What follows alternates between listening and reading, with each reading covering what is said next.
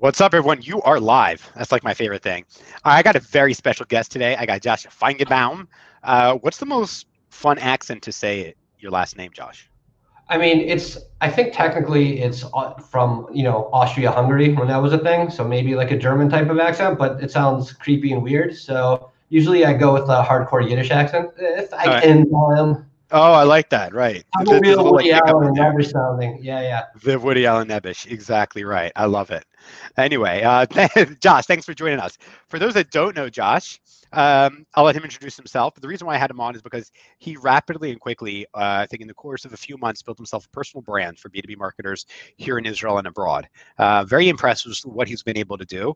He took what many people are scared to do, um, and in from seeing from the outside, and we'll get into it, is he took the science of creating a personal brand. He literally just made it into a science by regular posting, making a podcast, and doing whatever necessary.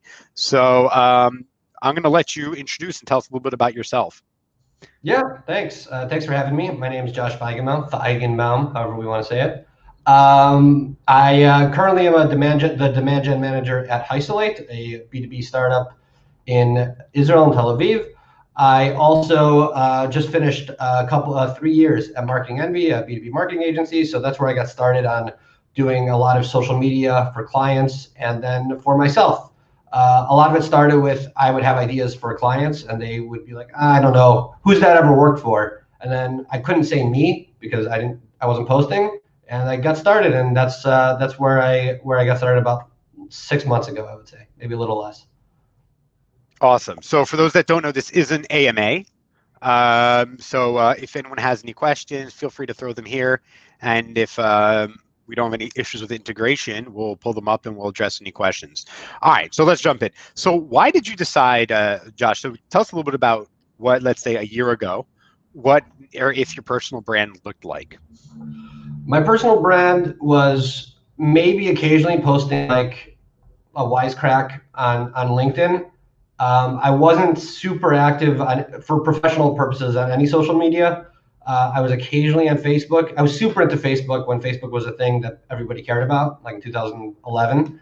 Um, I was posting every day because I was in college, didn't have a job. Um, but it wasn't like for professional reasons at all.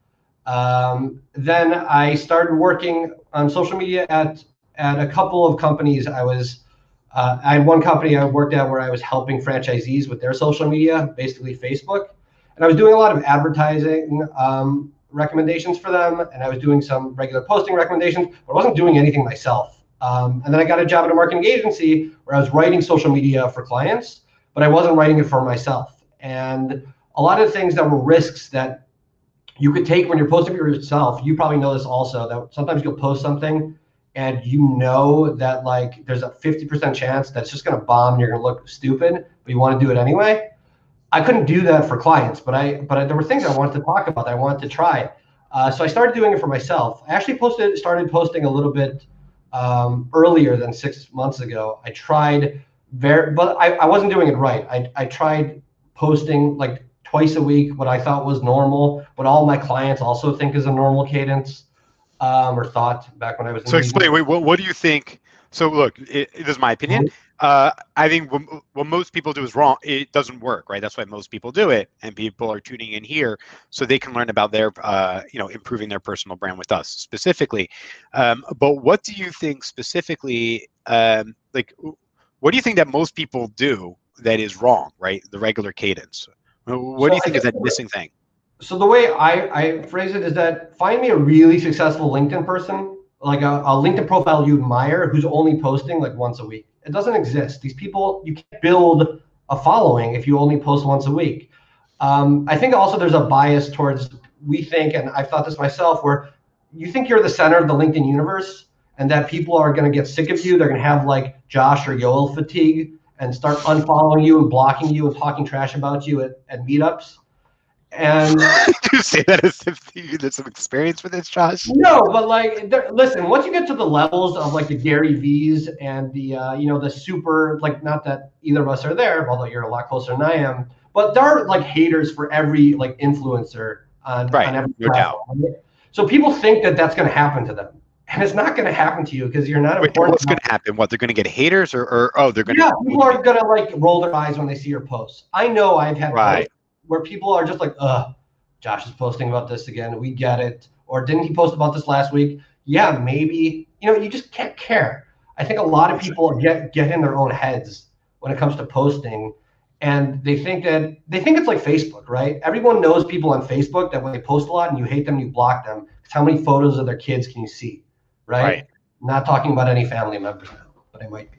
Right. Um, so people think that that's what LinkedIn is like. They're like, well, you know, everybody hates it when you post on Facebook, you know, three times a week, four times a week, five times a week. So why would you do that on LinkedIn? And it's a different Right. game entirely. And I think people, once you like make that, I think I'm only saying this because I got started on Facebook, and I think most people did too.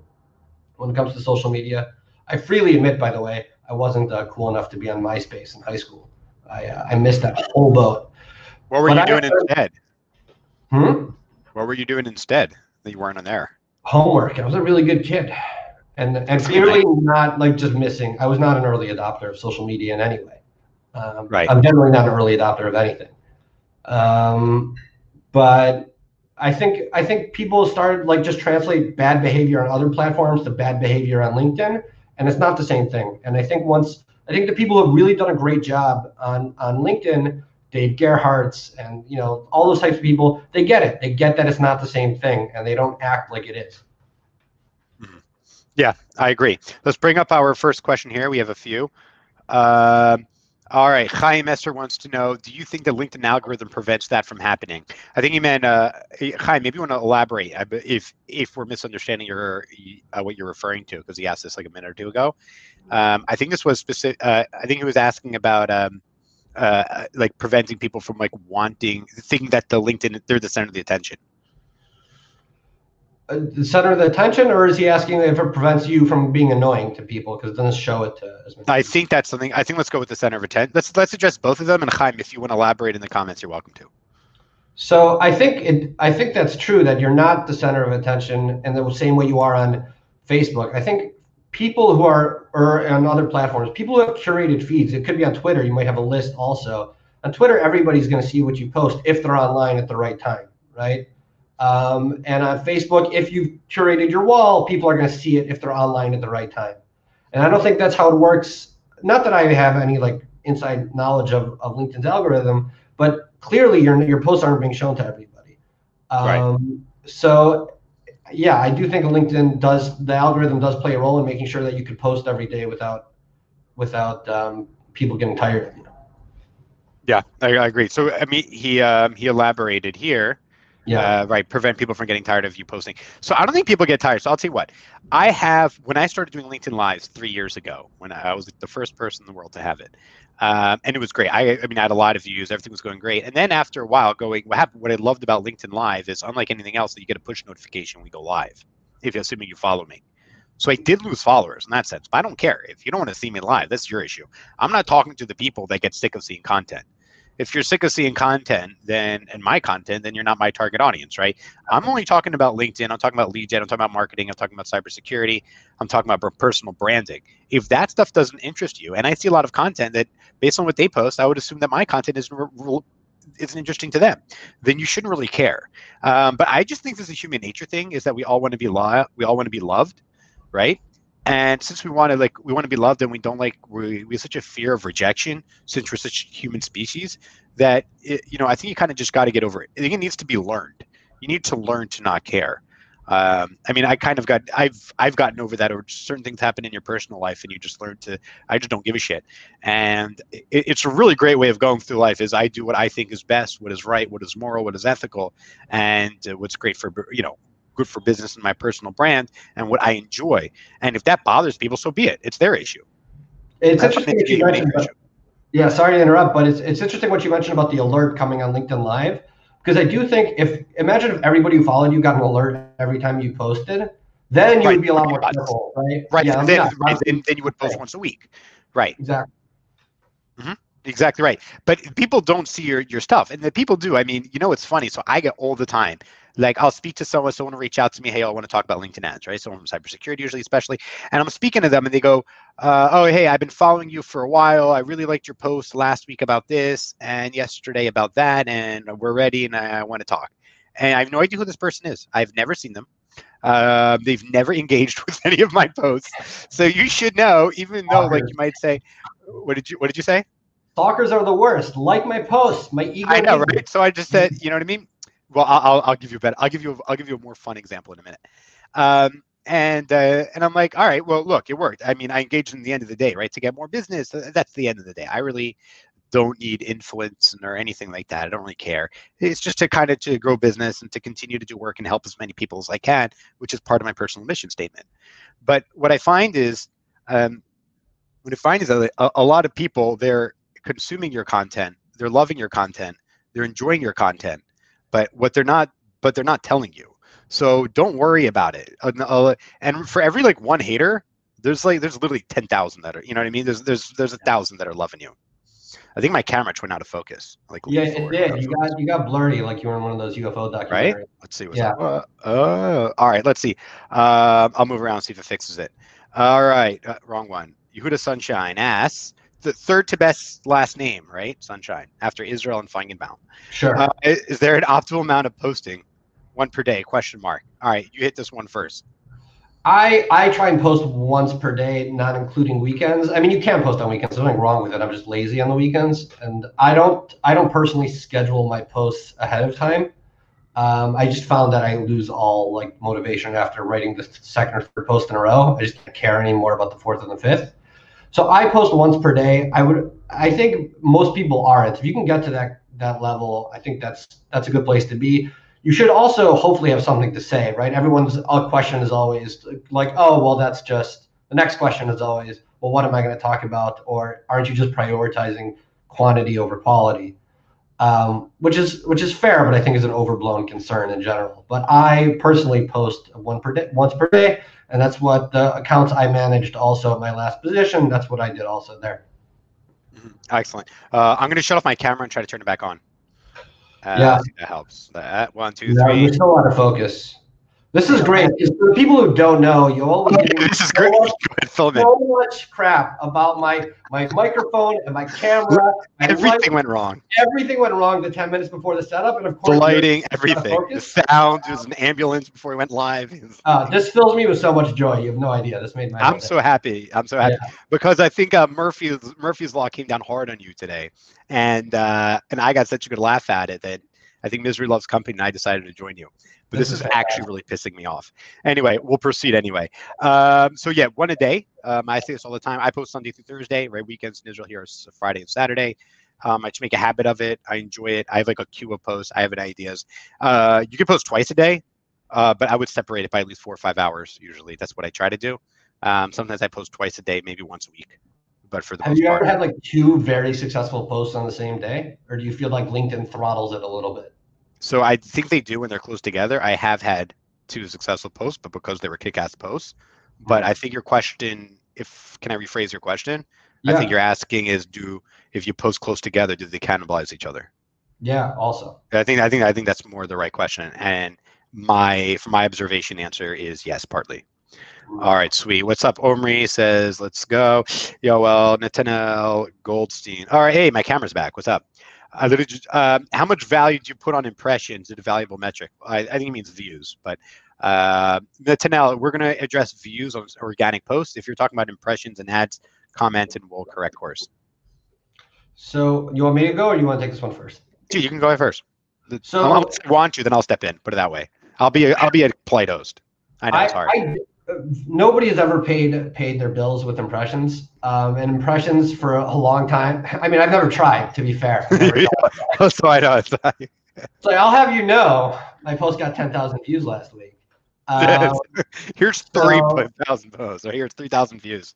I'll take some. Yeah, and also not something I I would ever tell a client to show them that their LinkedIn's doing great. It's like, well, it got a lot of impressions. Usually, because impressions are based on the engagement with your posts um, if you're getting a ton of impressions, there's usually a ton of engagement, unless you're paying, right?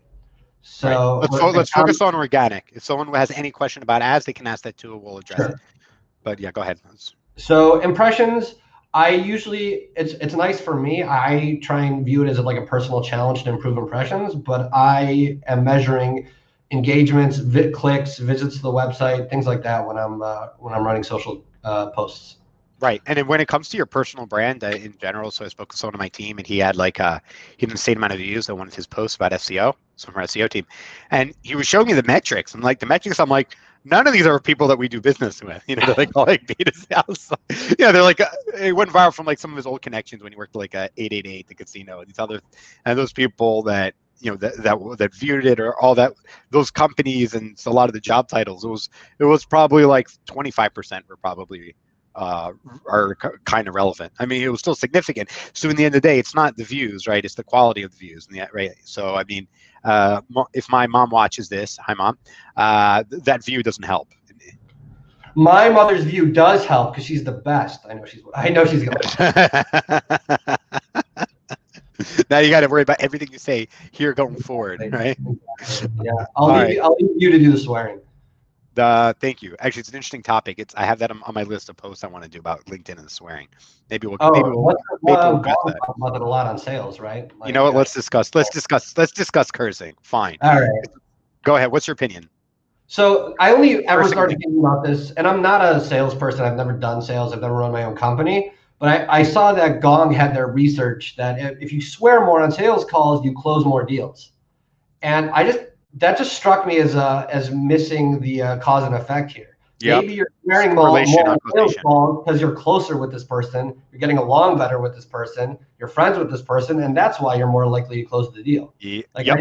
Or you're more passionate and that's sure. something. Or the, the salespeople that curse more might be more passionate, and so they sell better and they know the product better. Or it means they're more assertive, and maybe assertive. There's a correlation between assertiveness in sales and being successful. There, the correlation and causation is total bullshit. I, I've. Yeah. Uh, I think the year 2020, as you throw out any study that you read, you got to be extremely skeptical. Yeah, and I, I just feel bad for the poor SDRs who are dropping f bombs and they're like opening calls because they read this on a blog yeah, somewhere. What Gong just did it was it's a marketing ploy, and I think most people see through that bullshit. Yeah, I hope so. Yeah. Anyway, uh, let's go back to the question. We had a question we cut off to talk about swearing. Uh, yeah, yeah, yeah. Wait, but what's your what's your opinion about? Do you think? Uh, what's your thoughts about cursing in posts? And what's and then I my answer is a little more nuanced, and it, it changes like every week, every month. So I think maybe like the the worst thing I've I maybe I've written bullshit in a post, but I even doubt that I've even written that. I'm not a big cursor on posts.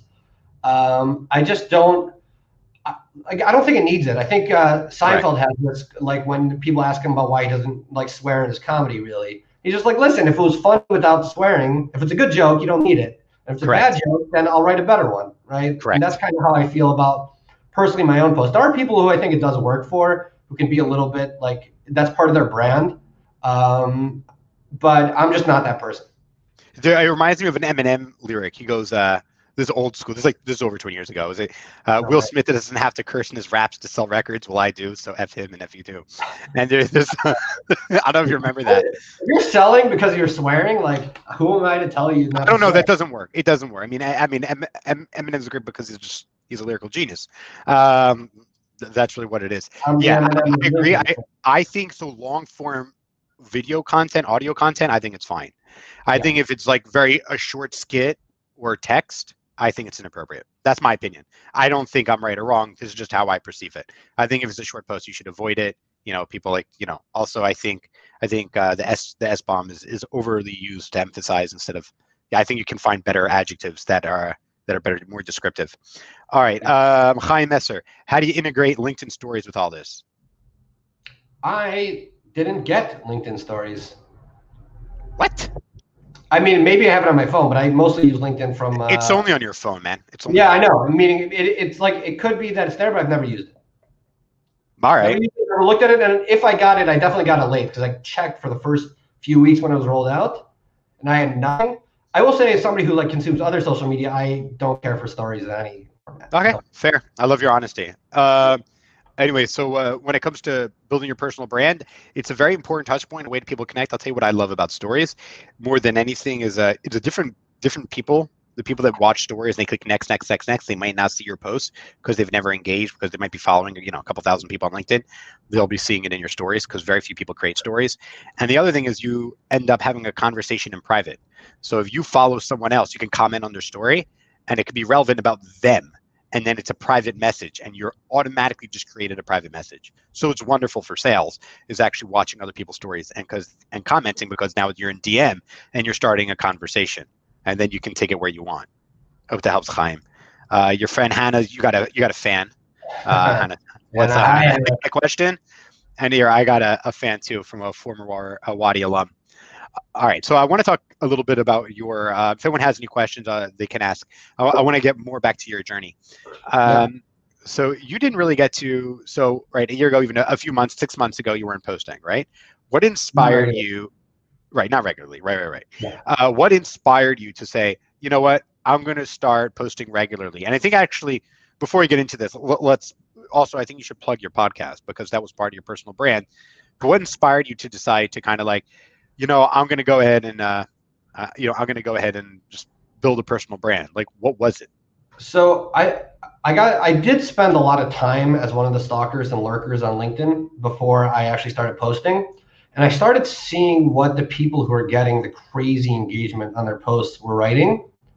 Um, and I really thought that like it wasn't, it's not too complicated. It didn't, it seemed to me that they weren't writing like this, these aren't like the Shakespeare's of LinkedIn. They were just being consistent. They had a good point of view.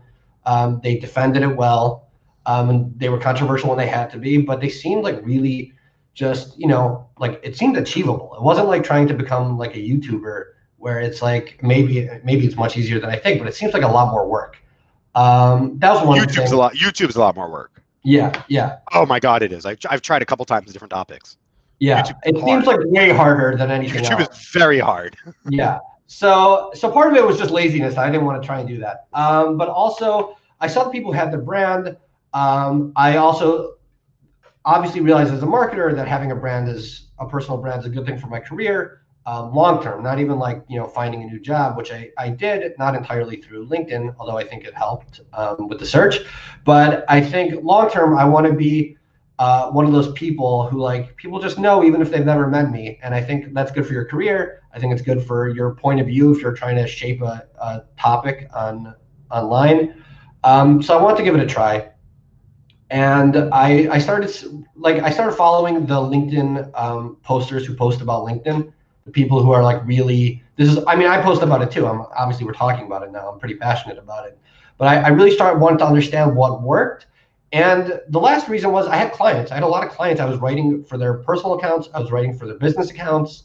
And it became very clear that the business accounts thing was just dying. Um, it's it's almost totally dead now. If you don't like pay to promote your business, nobody is going to see it at all. Like the, the the impression levels are insanely low. So I realized that I wanted to start posting on personal accounts for our clients. And if I was going to start doing that, I had to actually get good at posting on personal accounts. So that was mine. Um, so that's kind of how I got started there. What was the biggest barrier when you said had to get good? What skill or, or what did you what did you need to do? So first, I had to I had to write a bunch of posts that I thought were good that were that ended up not performing. I think that was like, and I, that's not what I would have told you at the time, but that's what ended up being the most important thing about getting better at LinkedIn was I had posts, and you probably had the sensation too, where you write something, you're like, this is gold I am, this is going to blow up. Like if anything blows up this week or this month, it's going to be this post. And then like crickets. You get like three likes. One of them is somebody who you asked if they saw your post because you're embarrassed. Um, and I, you know that look. I'm like, hey, you see my LinkedIn post? Like, yeah, I know what that means. Yeah. I've done that. People like that's a thing. That's a thing that people. So I'll, I'll tell you what I, am gonna jump in here. Yeah. What I do is so you what often uh, inspires my posts are conversations and questions from clients when yeah. I, so and then what I would do is I would uh, I would I, then I can then I'll say you inspired this post on our call and then I'll send it over to them so I'll get one like. Yeah. So I was a little bit like sneakier about it where like I usually maybe it's because you're a more positive person than I am I'm just more negative but usually Does say more about me or about you Josh? No this says something about me. You're obviously okay. I just want to, want to make sure you said broken. that not me. No, no this is me being broken as a human. But if a client did something that I thought was like a mistake or told me to do something that I thought wasn't a good idea, I would I wouldn't write about it immediately, which is like obviously like uh, too obvious. Um, but I would like put it away and think about like, oh, the client asked me to send this email that I think is terrible, right? Um, and I didn't want to send this email. I have all these reasons I didn't want to send the email. I would turn those reasons into a post about how to optimize emails or something like that. Um, and I would use the inspiration the same way you just mentioned, but instead of like tagging them, I would deliberately pretend I wasn't talking about them at all because I was. Right. Excellent. Okay. Let's get to uh, our friend Helena asks. Uh, all right. I started LinkedIn ads received zero ROI. Is something you need to outsource for the tutorials that you recommend? Um, all right. There's there's an answer and then there's an answer answer. Uh, the answer is check your. I'll just a few quick rundowns. Make sure you don't have enable audience expansion on. That's usually uh, someone that just quote started LinkedIn ads.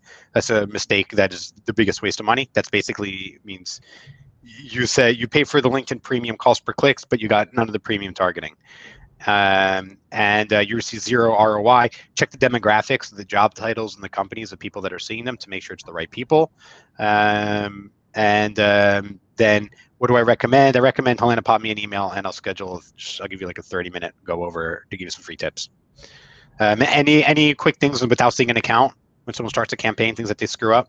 I know there's not much we can add here without seeing any accounts. Exactly. The only thing I would add is the offer. Like whatever the offer is, if the offer is not strong enough, um, especially like you see this a lot of times with, uh, you know. Hey, give an example.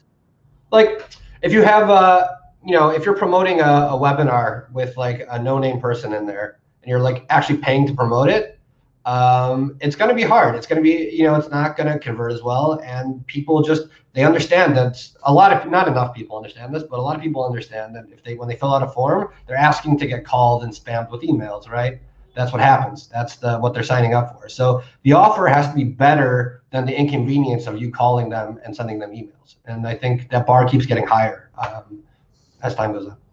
Right. Agree. All right. We got one for you from Omri. Uh, hey, Josh, uh, do you literally re- do you literally write in their personal accounts, or you just send them the text copy for your post? So this depended on the client, um, but some of them um, was was done like automated um, through HubSpot. Um, some of them was. Wait, what do you mean? Walk people through it because not everyone might have sure. experience. I, I, basically I used a platform that uh, let me get like you would connect. They would connect to it. I would log in, and then I'd be able to post from their platform. Uh, the to the per, to their personal profile LinkedIn. To the personal profile. Uh, the problem okay. with this is you can't comment. You can't do the whole LinkedIn comments thing uh, when you're doing it that way. Um, especially if you're pro, you know scheduling it for late at night and you're not going to be online anyway. Um, but you can't like pre-schedule a comment on a post that doesn't exist. Um, so if you want to drop a link in the comment, you really have to post live from the uh, from the account. So there were people that I actually logged into their accounts and I just ran it like I was uh, like I was them. Got it. And then, but how would you manage that kind of relationship? I also probably know a little bit more why Omri's asking, as he has some mm. clients of his own. How do you manage that relationship when you post, and then they would just follow up on the comments, and that would be their responsibility? So, I mean, to be fair, like a lot of these people weren't start, you know, starting huge conversations, but when they did, I would, I would, you know, WhatsApp them or Slack them or send them uh, an email saying, "Hey, you, like a conversation started here, some you should jump in." I didn't own like the whole back and forth between any like if I started a war in the comments, that was their decision how how much they wanted to engage. But usually that didn't happen. You'd get like a you know your likes, you would get your a few comments, um, and you know some things you could just say thanks for. You don't actually have to like you know follow up with the CEO of a startup to ask them if you could say thank you for somebody complimenting your post. Um, but I I would go in terms of the relationship though you know, it's it's not all of them will just give you their LinkedIn account right away, right? I think that's also something that really depends on the person. But when they did, it ended up, um, you know, I, I, don't think anybody took back their LinkedIn uh, from me. Certainly not in the last two years. Maybe when I was brand new and did something stupid. How do you define stupid when it comes to LinkedIn posting? Because well, we always talk about success. People don't talk about you know, we do a lot of things that we feel are stupid because we're insecure. Yeah. But what actually is stupid that we, you thought was good enough to hit publish on?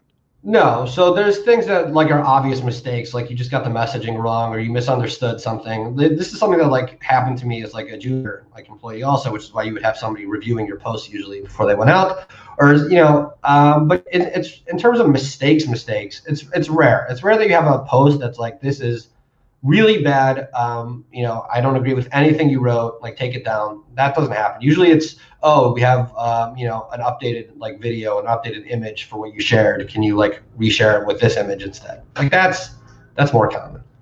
Right, right. Got it. Yeah, yeah. I, I know what you mean. Okay, so uh, let's get let's bring it back to the main conversation. If anyone has more questions, uh, feel free to drop them in the comments. We'll address them. Um, so building your personal brand. So you went in and you decided you decided, okay, I want to build my personal brand. I want to find mm-hmm. other employment, and so you posted daily, right? Is that what you said? You woke up one day and I said I'll post daily, or were you thinking about it for three months, kind of like when you know? Oh, like I I overthink all these things. I was probably thinking about it for a lot longer than that. Um, what's anytime you how long? Anything, how long? Josh, how long? I mean, it was probably something I wanted to do for like six months before I started. Like, like you know, you make excuses, other things come up. It's not like LinkedIn has to be the most important thing in your life if you're a marketer, right? Um, uh, but watch what you say, buddy. Jeez. I mean, it does for you and your clients, uh, but for everybody else, it couldn't. but I, you know, there were there were always like reasons or like, but really the reason that I didn't get started posting was what we mentioned earlier, which is a little bit of a fear of looking ridiculous um, which are which are or fear, fear of spamming, and I really needed to see other people's success to really understand that you know you can do this and people will actually like it and not hate you for it. Um, right. And you know, I, I still remember the first time somebody like sharply disagreed with something I wrote. I was. What was it? You remember? I'm trying to remember exactly what it was. Um, it might have been something around email marketing. I think that's usually what I like, uh, or uh, or about uh, webinars being too boring. Um, but the first time, Anyone, someone disagreed with that. Somebody disagreed with that. I, I thought webinars were were overly salesy, um, and like people were tricking people to watching a sales presentation and telling them it was a webinar, um, right. which I thought was I didn't like, and people don't come back anyway. But I, I wrote about that, and I had a, a, a comment on a post about email marketing about uh, maybe it was about a newsletter. I don't remember the exact post, but I remember the feeling of seeing it and like just feeling like somebody stabbed me in the heart.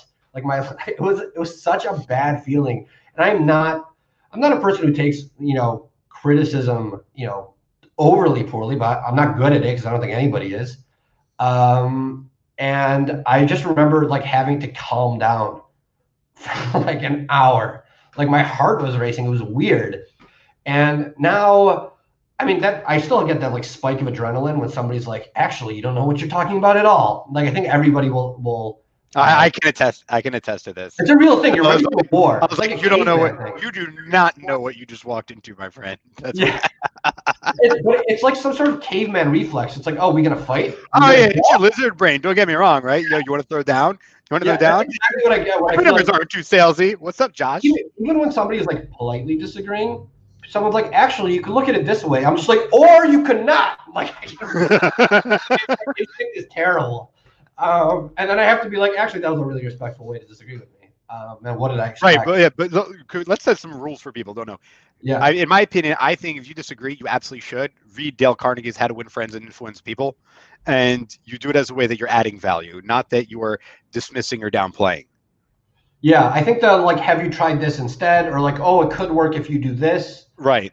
Um, right. Or, or, you also learned this in marriage counseling. I'm just gonna throw that out there. You know, this is good advice for everyone you speak to in your life. Well, I'm glad I'm getting all this practice. Um, and it's free for you and all. Great. This is all this is. This is just. Yeah. Is there a sales plug in the end of this? I'm just joking. I was making a, a comment to your webinar thing. There's not. Uh, so you were all right. So you you get that right. You get those comments right, and yeah. you're like, oh, I hate that, and uh, right, you, you, hate it. And were you? Did you get over it? Did that slow down? Did did that like kind of make you not want to continue posting? And actually had the reverse effect. I had this instinct of I have to post something else that people love because I need that dopamine rush. I'm like very honest about like how this works for me. Yeah, yeah, yeah. If you know how it works, you can use it to your advantage. Yeah. Either you're a victim of it or you can control it. Exactly. So like I know if somebody like if I have a post that doesn't do well, I used to. This is also another flashback to when I used to post all the time on Facebook. Um, you know, ten years ago. If I had a Facebook post that like didn't do well, there was this feeling that like you have to post again immediately to make people remember that you're good at Facebook. They, um, they probably didn't see your shit. The algorithm didn't serve. You didn't get a lot of, and no one knows that you posted. That's true. like if, Yeah. if a tree fell in the forest and didn't make any noise, right? Uh, if it, no one was there to hear it, did it make any noise? It's like that Right, kind of thing. all the terrible parts about social media, and I'm obviously a huge fan. But like one of the things is that when you have a post that doesn't do well, you don't feel great about it. It's designed to make you not feel great about it, um, because it's designed to make you feel really good when it works. So when it doesn't work, I just I, I it made me want to post more, um, and like I was basically just chasing you know approval, like you know, um, and if I So didn't it, get it- did that work for you? I'm saying, did chasing Yeah. the dragon work? Yeah. Yeah, yeah, hundred percent. It's I'm very honest about my own like. No, yeah, yeah, no, I, I understand. I'm, we're being Yeah. totally honest here. This is uh, being honest is imperative. So right, so you so you'd actually you fed that. So I think a lot of people in the beginning, if they get to too soon, too, too early on, they back down from Yeah. posting. But if you're a few weeks in and you're just like, okay, well, I've had hundreds of comments that were positive, encouraging, or value adding. Okay, and I and I got one asshole. Okay, great. And if you can step back and compartmentalize, like get worked up, that's good. Respond, you should. And then been like, huh, I got a troll. Ridic. that's awesome. It's amazing. That's like level up. You know what I Yeah. mean? It's like I'm no longer a white belt, you know? It's like, it's Yeah, like I have an opponent. Yeah, Uh, right. That's it. I got haters. I got people saying, "Did you see this? This asshole? He said this and that." I disagree with him. You I know do what I mean? this rule, by the way, though, about the where You do what? Say it again.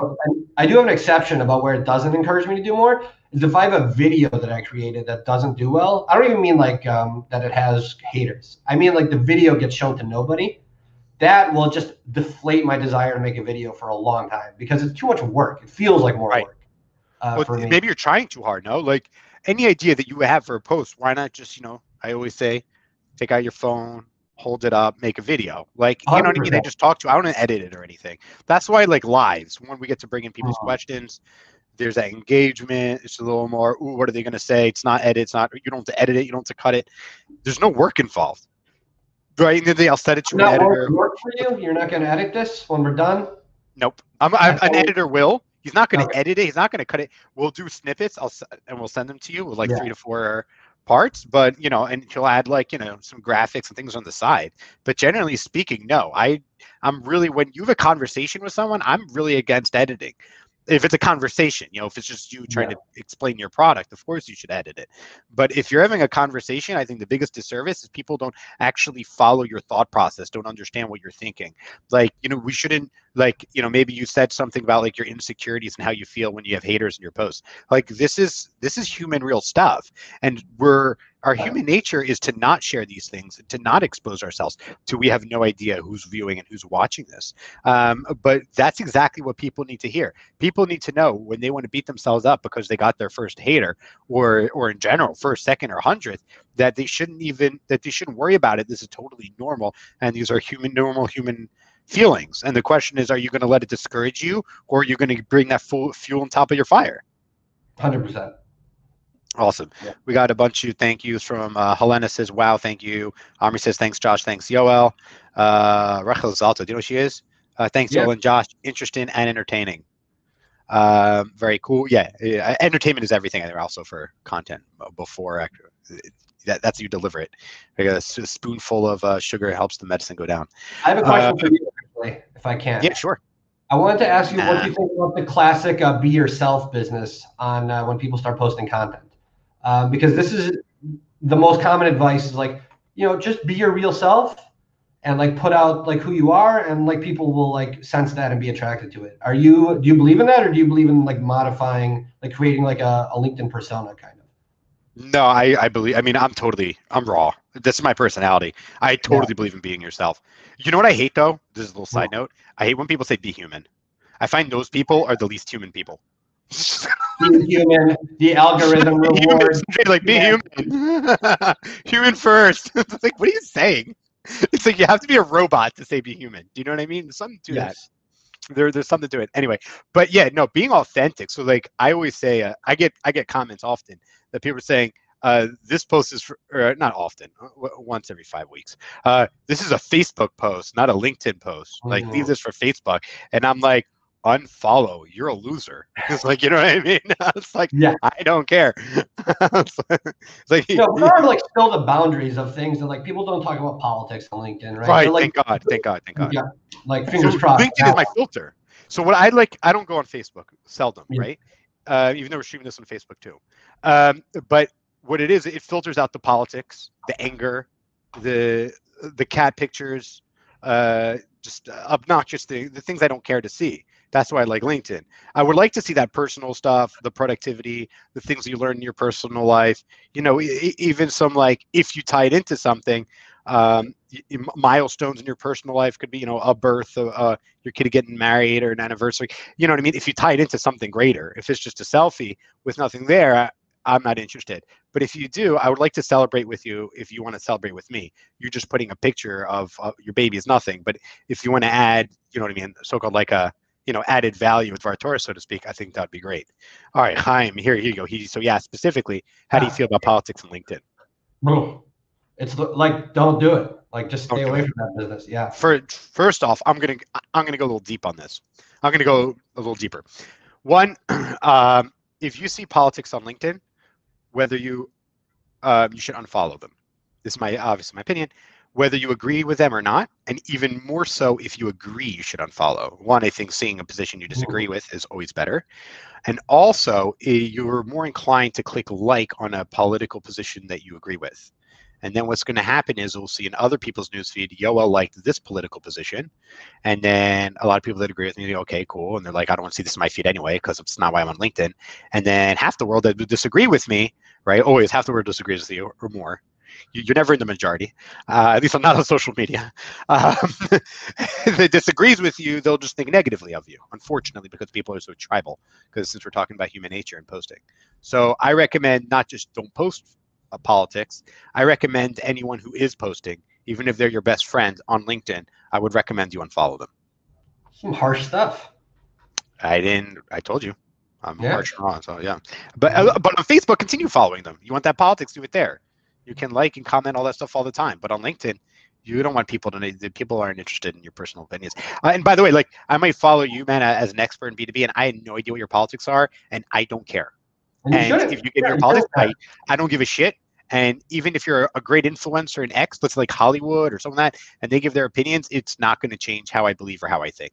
So on this particular thing, and I'm just saying, why am I listening to you about politics? I follow you for marketing advice or tech or sales or whatever. Do you know what I mean? Like I don't ever understood that. Anyway, that's too much. I also think obviously like what are the three things that used to say in the workforce? No, uh, no sex, no politics, no religion. Yeah. So I think tho- those that's fair. I think faith, faith, but not specifically like religious, like do this or that. I think faith is fair play if you know how to use it properly in LinkedIn, and often Sure. in, inspiring and productive. Agreed. Your friend Sharon's got cheering you on. What's up, or Sharon? How do you pronounce that last Yeah. name? Yeah, yeah. Sharon, um, I'm gonna say this is embarrassing because we worked together for two years. So I'm gonna say Nkawa. And Kawa. Alright. That's four vowels in a row. That's that's I'm pretty. gonna I'm gonna stick with that as the correct pronunciation. yeah, I think I you got it wrong because you're supposed to say who is or what is, right? What is Kawa? It's okay. We don't work, we don't work together anymore. So if we uh, if she takes offense, it's fine. I think people need to know your personality a little better. but I'm sure, but she, but she gets it. That's cool. Awesome. Yeah. All right. So, uh, so, so back to your personal brand, right? You want to find new work and you Mhm. post daily, and you decided after six months of saying, I should be posting daily, I should be doing what other people are doing. I started posting daily, right? Yeah. At what point, once you started posting daily, did you say, you know what? This isn't enough. I need to do a podcast because no one else is doing a podcast. So it's not that nobody else is doing a That was, podcast. that was an absolute. yeah, I was hoping that was sarcastic. I was like, really? Are you like not like paying attention to the podcast? Sixty millions of there are dozens of us. Um, so no, so I I wanted to do a podcast in general for a long time. Uh, I listen to only a handful. I don't I don't have time to listen to. I don't know who's listening to a dozen podcasts. I know people do. That's crazy to me. Like Those I people have really long commutes. Yeah, and I anymore. don't. But other than that, I don't get it either. like I can listen to you know 20 minutes here or there, but I can't listen to you know I can't follow podcasts like TV shows. I can't binge them either. Um, maybe with the exception of Conan O'Brien's podcast, which I love. Um, but I I wanted to create a podcast, an idea for a long time to do a history podcast because I studied history and I was super passionate about it. And I finished my master's, and I was like, well, I don't have any outlet for all my you know wanting to study history. I should, you know, create a podcast about books or, you know, I don't know what I was going to do. I had no, it's just a concept that I talked about for a long time. I was like that guy who was like working on a novel. It's like, yeah, it's really coming along, but like I wasn't doing anything.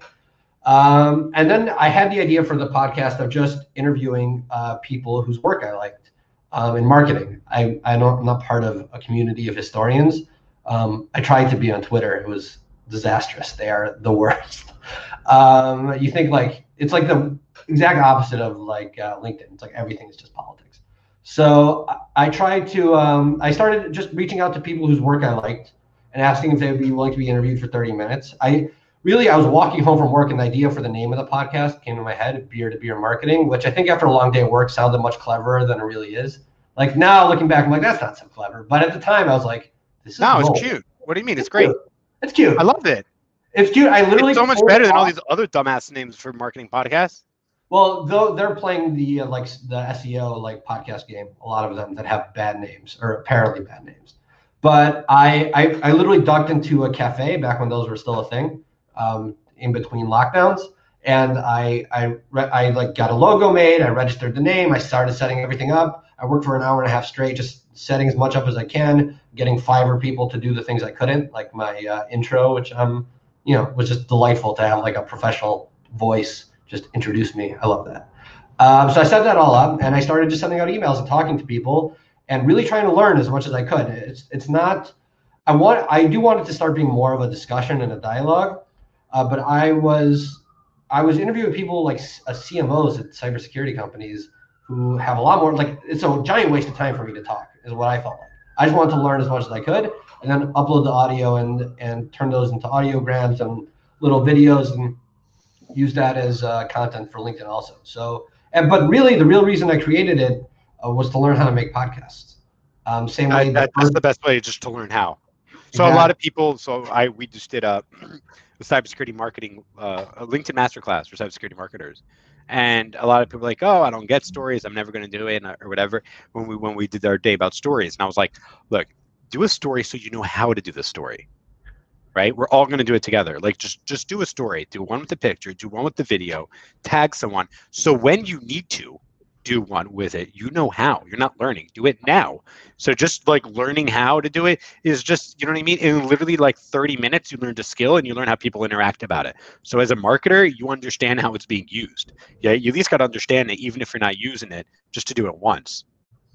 Exactly. And that's what when people are like, oh, how's the podcast doing? I'm just like, podcast is fine. I'm not like blowing up the charts with or anything here. It's right. not right? Wait a minute, you're not telling them they're like it means it's going amazing. We're doubling week over week. You know, you know. Oh, I tell that to the guests when I invite them. Right, right. You guys, this is blowing up. How many views? Yeah, it's like wait, including bots and purchase views. Yeah, like have you heard of Joe Rogan? I'm, I'm not saying I'm at his level, but uh, right. Spotify is interested.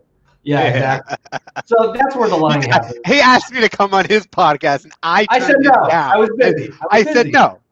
it was during a sober October. I can't drink beer in sober October. Come on. No, it's ridiculous. So, um, but it's it's it's helped me learn outreach, like cold outreach to guests, um, people I don't know. It's Amazing. helped me learn editing. Like that's where the real value was for me, and I'm sure, you know, this podcast, however long it lasts, another year, uh, two years 10 years from now, I'm hosting a podcast that sounds a lot better than the one I have now. It's got That's a right. real microphone. That's the idea, really.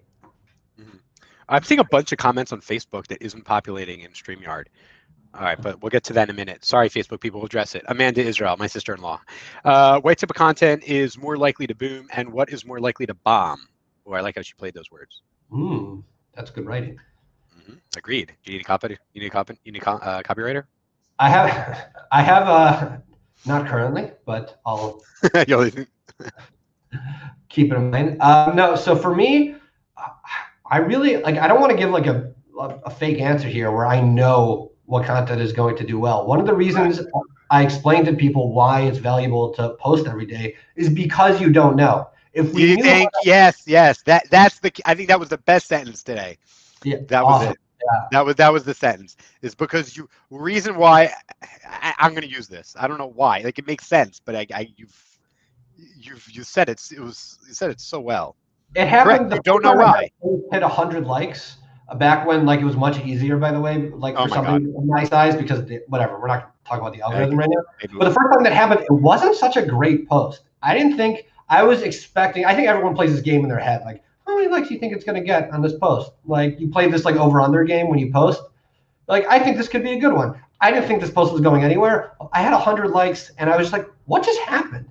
And that's when it really clicked for me. It's like, oh, I don't know. I have no idea. I just have to start posting, and then you learn. You basically build your own like experience, and you kind of get a sense of it. But I don't have like an answer of like this content is going to work better than anything else. Like you just got to post. someone from my team, she messaged me earlier. She said her post today had uh, so far after uh, a few hours, eight likes, 11 comments, like 45 views. She's like, what the hell is up with the algorithm today? Oh, She's like. Like, it's like I'm getting good engagement. I posted two hours ago. I got good engagement, you know, and it's just like, and no one saw the post. like the algorithm to me has become like personified. Like I imagine it's like a person who's like trying to stop me from being popular sometimes. I'm just like, can you please? Like I'm trying to talk to something. Like, do you mind like showing this to some people? right.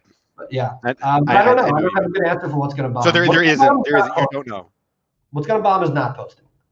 Yeah, thank you. Yeah, yep. You're if you're not if you're not posting, it's they're all every every day is a bomb. Uh, not a boom. Oh, let me check out some. I saw some Facebook comments. Ooh. Uh, Elisheva, Katie Hudson says, "What are the first things uh, you suggest to someone who is getting very low engagement on posts?" Oh, actually, so I guess we kind of addressed that Yeah, in a sense, more. right? So the the very first thing we suggest is is just keep posting, and eventually you'll get better engagement. I mean, I mean, you just keep Yeah. at it, some will, some won't, and Yeah, don't know there's what like the classic hacks about like you know the uh, you know have the the the the, um, the main point before the see more and use white space, but like those aren't going to save bad content. Those are just Correct. like amplify good content. By the way, that white space thing is is a pretty big deal.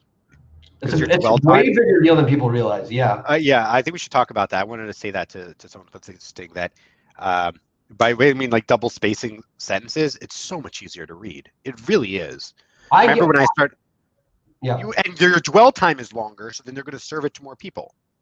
I will read a very boring book, but I won't read like four lines of text pushed mushed together and, and Thank you. it. Yeah. I won't do it. I was like, what is this? Like three question marks in here, and I'm like, no thanks. No, I see Uh, it. You want me to quit my job? Like, come on, people, let's let's go. let's go. Yeah. Let's do it, baby. I agree. All right, thanks, Elisheva. Uh, okay, Helena asked the same question on Facebook. I guess she asked there first, I see, then LinkedIn. Amanda also asked again. She asked that too. Okay, that was weird how it came in. All right, she has another question. What is considered good engagement for people that aren't Gary V? Uh, any post, just dude, it doesn't. It's not about engage. Okay, so I want to address engagement because you engagement I've learned is radically overrated.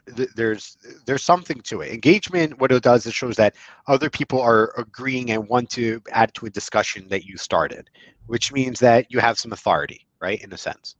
Um, but really, what I look is on LinkedIn is like who's viewing my post You can't see what individuals, but just to kind of get an idea, because I've learned after doing this for years, is that like everyone that I want to be following me is for the most part because I started early on LinkedIn. It was really easy to get followers, um, and um, so all that matters. I don't care how many like and engage, but like I said, who saw them? And like a, a half hour ago, I talked about you know someone would have reached out to me and he said he saw my post, he's been following me, and I have no idea who he is, and he never engaged. So it depends. Like just keep putting out content. People are seeing your stuff. People are consuming your stuff. And what's going to happen is, even if they're not the target audience, but they know who you are, if they know people that have the solution that you have, they'll recommend you. So yeah, and she's she's talking about numbers specifically. Um, so you started your podcast, you brought people on.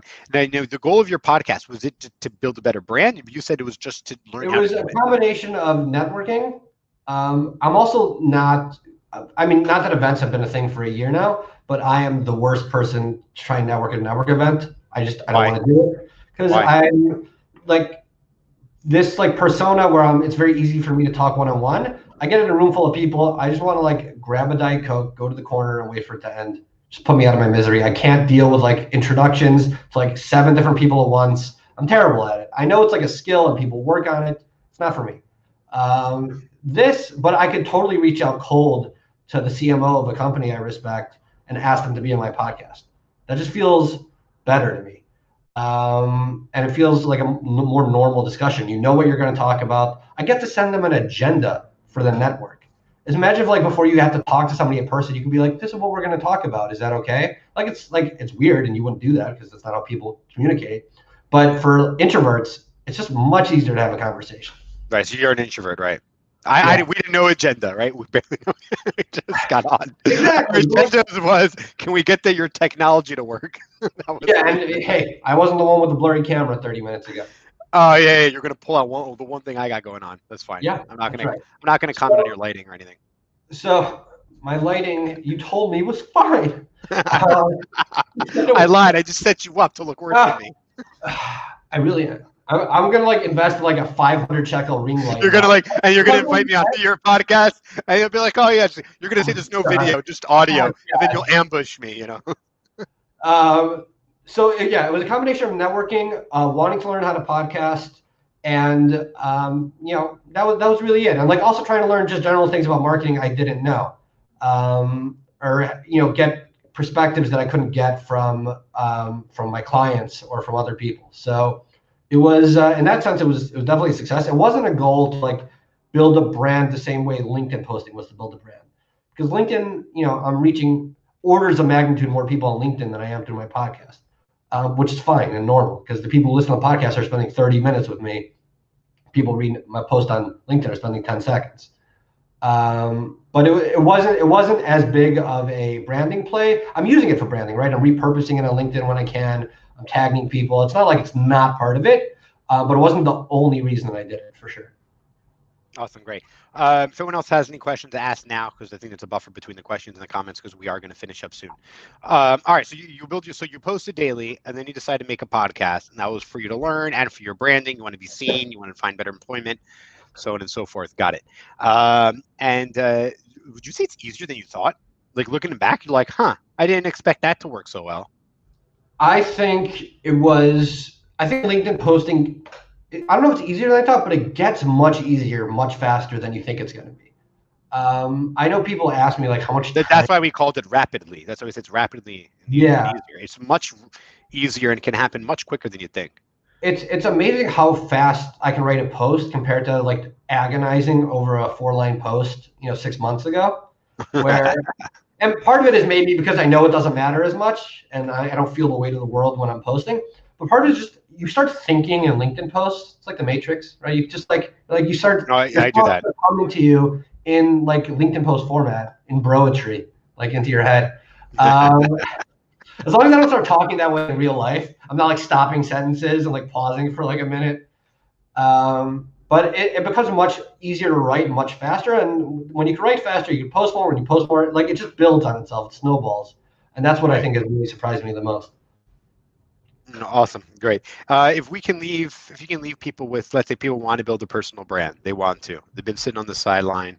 They're, they're who you were half a year ago. Uh, they're a lurker. Uh, they're a stalker. They're all the awkward things, right? Yeah. Um, and uh, they- they'd like to say, I want to.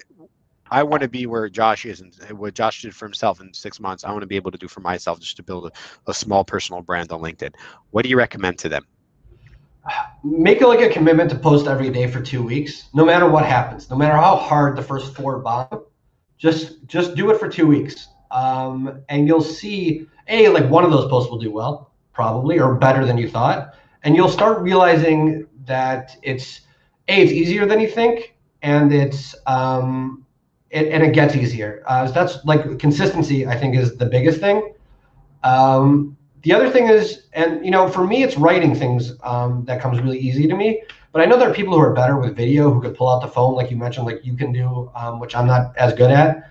But you know, tr- you don't have to only write like you know white space text. There's no rule that says that has to be your brand on LinkedIn. If you're really, if you're really good at other things, or if you have um, a business that's more visual um, or ideas that are better expressed visually, like I don't know, like do whatever is easier for you. If it was easy for me to do videos, I would have done videos. It just wasn't. Um, uh, and you know that's really it. And like don't don't take it too seriously. Like it's fine. Like it's it's fine. Really. Like nobody cares. Oh yeah, the end of the day is nobody cares. Just Nobody cares. post daily and don't take it too seriously. nobody knows who I am. It's fine. It's fine. uh, Josh, where can they find you? They can find me at beer2beermarketing.com, which is where all the web uh, the website where I have. I'm going to I'm going to plug that in the comments and see if I do. Appreciate that the two, um, and not the you know not spelled out. It's the digit. Beer to Beer Marketing. Um, you can also search for the podcast, Beer to Beer Marketing Podcast, wherever fine podcasts are, you know, offered everywhere. Um, Spotify, Apple, and you know, reach out to me on LinkedIn. I'm here, obviously, somewhat frequently still. Um, and yeah. awesome. Thanks for joining us for this LinkedIn Live AMA. Um, I'm your host, Yoel Israel of Wadi Digital. Thank you, Josh, so much for joining us. I hope we were able to help you build your personal brand rapidly and easily. If you guys have any other questions, feel free to send uh, either Josh or myself a private message, and we look forward to engaging with you on LinkedIn. Thanks so much, Josh, for joining us. Yeah, thanks for having me.